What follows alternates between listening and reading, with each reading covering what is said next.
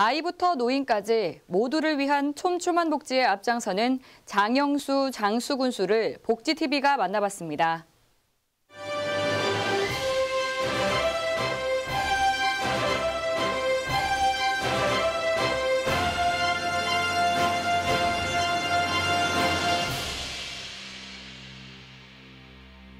안녕하십니까. 복지TV 전문방송 보도국장 여정수입니다. 오늘은 체계적이고 세심한 복지 정책으로 장수 국민들의 복지 만족도를 높이고 계시는 장영수 장수 군수를 만나보겠습니다.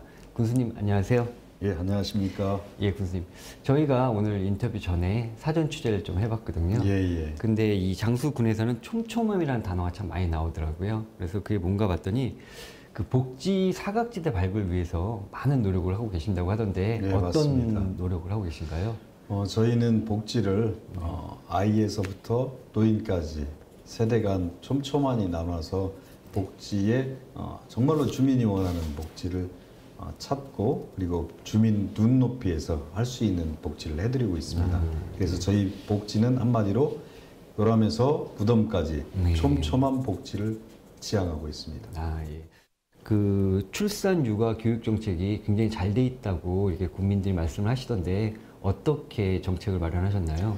결혼할 수 있는 부부가 결혼할 때는 결혼 축하금부터 시작을 해서 그리고 태어나면 그 아이를 케어해 줄 수 있는 어, 보모, 아이 돌봄 하시는 분들께도 어, 저희가 어, 봉사하고 있습니다. 그래서 방과 후 학교와 방, 어, 학교 가기 전에 이렇게 나눠서 하고 있는데요. 특히 어, 장수에서는 0세에서 3세까지 할 수 있는 아이들을 군에서 직접 경영하고 있습니다. 아, 어린이집을. 예. 그리고 이제 다섯 살부터 여섯 살까지는 어린이집을 다니고 그리고 어, 여섯 살부터 일곱 살까지는 이제 초등학교 어린이집을 다닐 수 있는 어, 누구에게나 그 균등하게 그리고 촘촘하게 아이들을 키울 수 있는 복지 체계를 갖고 있습니다. 아이가 3시나 4시에 학교가 끝나고 난 뒤에 아이가 집으로 바로 갈 수 없기 때문에 방과 후 교실을 어, 저희가 다양하게 운영하고 있습니다.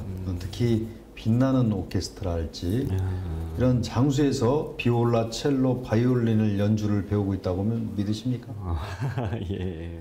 그리고 또한 어, 축구를 좋아하거나 운동을 아, 예, 좋아하는 예. 아이들에게는 어, 스포츠 클럽을 지금 저희가 육성하고 있습니다. 자연과 함께 노는 아이들, 정서적으로 자기가 음악이나 어, 미술에 어, 능력 있는 아이들에게 저희가 특기 교육을 시키고 있습니다. 아, 그 노인복지 정책에서 말씀 여쭤보겠는데 네.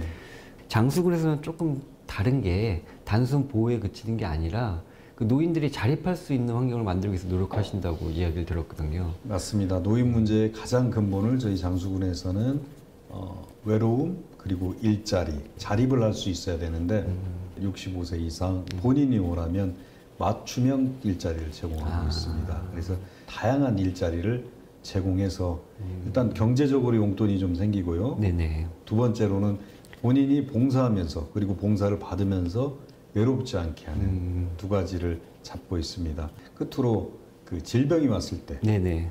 질병에 대한 그 가장 힘들거든요. 그래서 장수는 마지막으로 요양병원을 지금 현재 음. 추진하고 있습니다.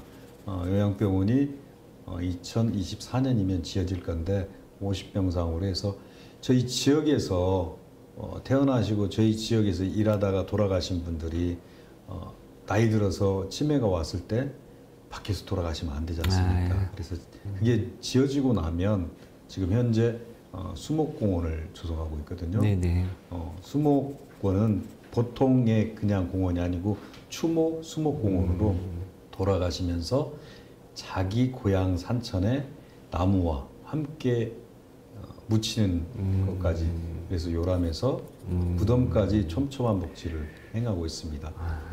그런 다문화 가족 지원을 위해서 많은 노력을 또 하고 계시다고 얘기를 들었거든요. 어떤 지원을 하고 계시는지 말씀해 주시죠.